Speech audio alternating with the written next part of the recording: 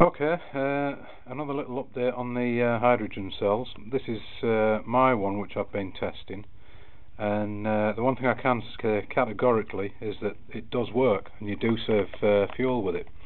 I've gone from, where are we, 46.7 uh, miles to the gallon without a fuel cell to 56.3 which I think is pretty conclusive um, that shows an improvement of 9.6 miles to the gallon.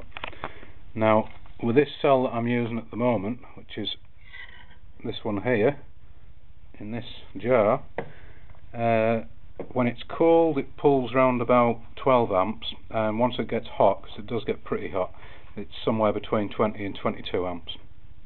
Uh, the fuel improvement that I've shown has all been really short trips of just 5 to 6 miles uh, and I've, I've, got quite a heavy foot, so um, you know that's quite a good improvement. I think if if it was on a long run, it was going to be even better.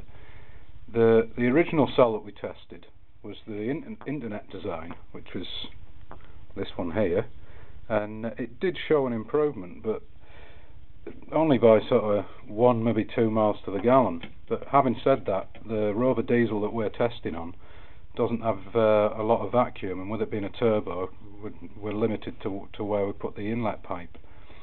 The other thing uh, I originally said on the other video was that uh, hydrogen, uh, so, sorry, sodium hydroxide or caustic soda is clean.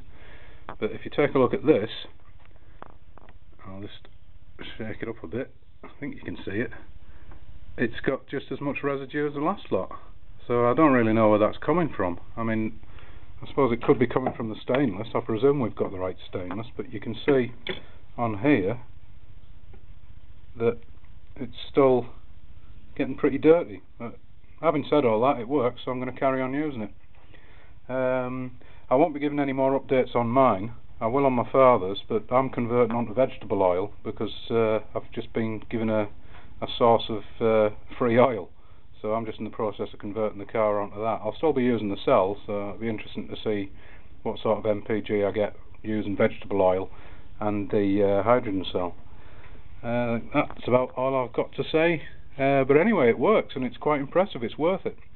Not almost 10 miles to the gallon extra. So go ahead and do it. It works. Bye now.